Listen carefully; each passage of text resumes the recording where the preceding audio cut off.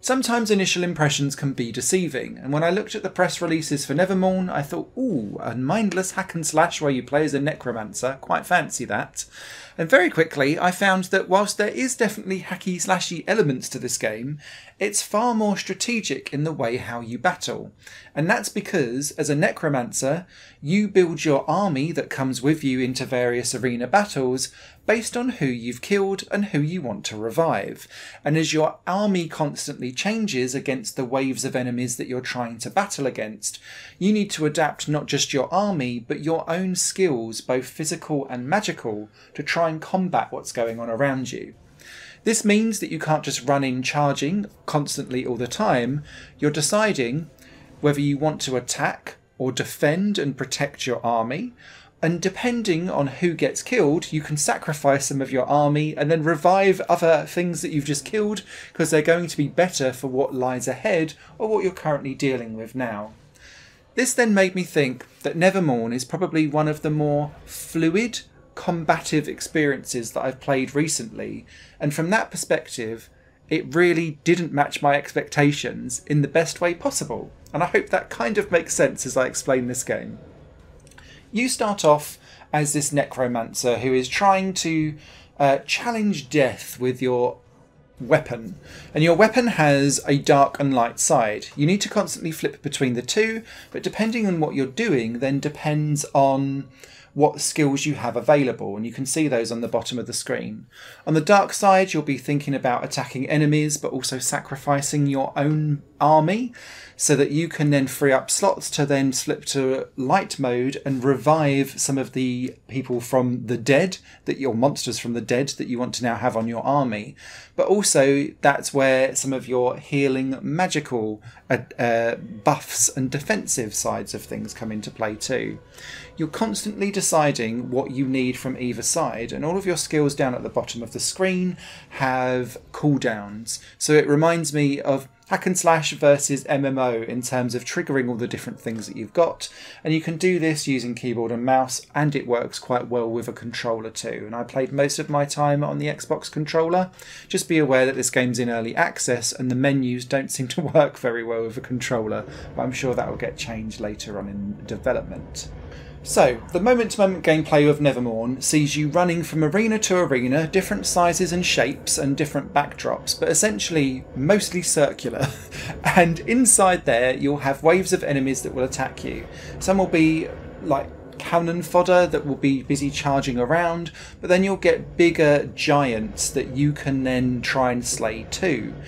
Your army can be filled out with various different types of minions. Some will be ranged archers, some will be more brawler types, some will be more magical. And then you'll be able to add on additional monsters too. And again, they can lean towards the magical or the more brawlery type. And they get upgraded over time so that their spells that they're able to cast or the attacks that they're able to do get better the further you progress in the game. The game in early access currently has three different areas with a mixture of different level runs inside, and you'll see your progress in the top right hand side of the screen as you kind of build up this challenge towards death at the end of each area where you'll face a big gigantic boss and hopefully move for a portal to the next level. There's a few really interesting spins on this game though that I've not touched on yet.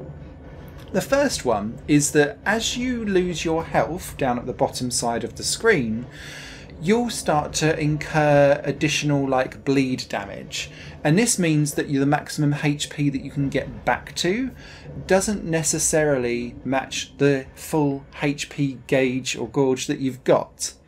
And so, what you need to do when you reach sanctuary arenas is decide whether or not you're going to use some of the currency that you've collected over time to cleanse yourself and get rid of your, I guess, karmic debt so that you can get your full HP back again because you've been cursed and your HP reduces slowly over time, or whether or not you want to spend that currency to either upgrade the base stats of your minions and giants, and you won't be able to just do that carte blanche. You'll have upgrading the ranged attacks versus the magic versus the brawlers versus the giants, whatever it is that you've got. Or you can choose to upgrade your magical abilities or attack abilities of the actual Necromancer too.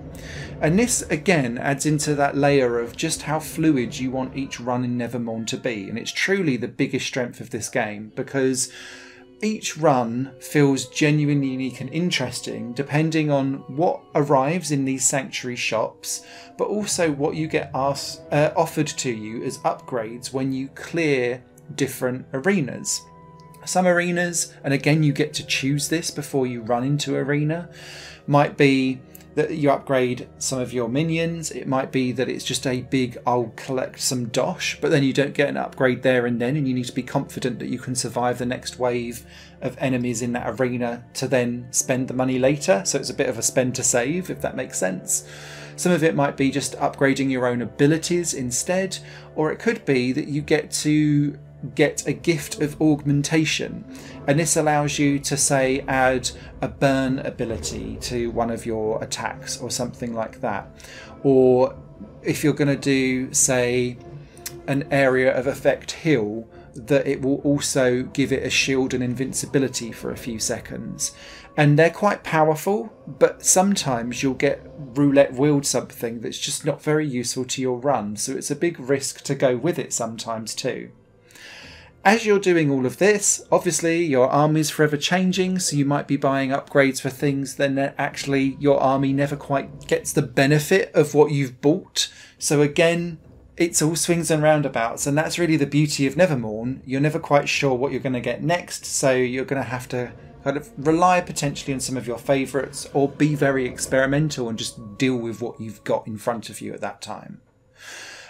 When you've then died, which happened to me very, very often, you then get taken into the overworld skill tree. Now, as you unlock, uh, level up, sorry, through XP from general runs, you'll unlock more skills, more spells, upgrade the actual necromancer itself, but also you'll gain access to a wider army so that you can take more into battle with you. But you also gain upgrade points to take onto your skill tree of again light versus dark. So if you go into the light area, that's all about increasing your health limits, increasing the amount of uh, regen that a piece of magic might do. Also, increasing the health of your minions, for example, or the ability that they can replenish health quicker as well. So, it's all geared towards that, and shields and invincibility, stuff like that. If you go to the dark side, it's all around building up the amount of attack damage that you can get, or the attack damage that your minions can do. And depending on how you play, you I mean, it, all of it is very very useful but you can kind of prioritize whether you want to be much more on the attack or on the defensive and both strategies are very valid in Never Mourn this is a game that's still in early access it took me many, many hours to get to area three of three that's currently there, but they're saying that they're going to be dropping more in over time.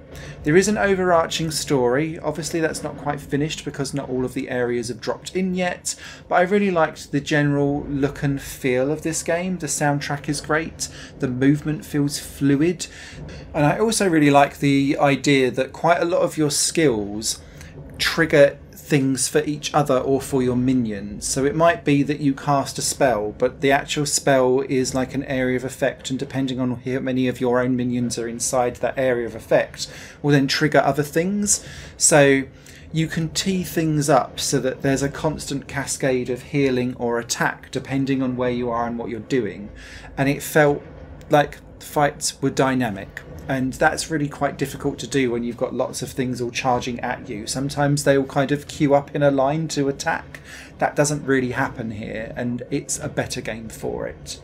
Now, this game is still in early access, and that kind of shows from the variety of enemies that are available and also the variety of backgrounds of the arenas that you're in. The three arenas or levels that you go around are quite rinse and repeat and quite dry, but hopefully with more arenas and a variety a deeper variety of enemies, this game will really see the potential that it absolutely has.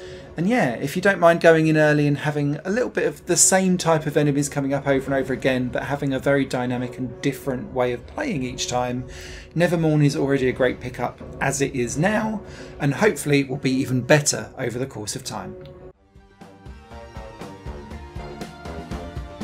Higher Plain Games is part of the Higher Plain Network, a completely independent media outlet supported by people like you. The goal is to create the best possible content that cultivates a richer indie scene for games as well as music and entertainment. To find out more and to get involved, visit patreon.com forward slash higherplain network. Your support makes all the difference, and in return, you'll gain access to bonus content and downloads. Thank you for watching.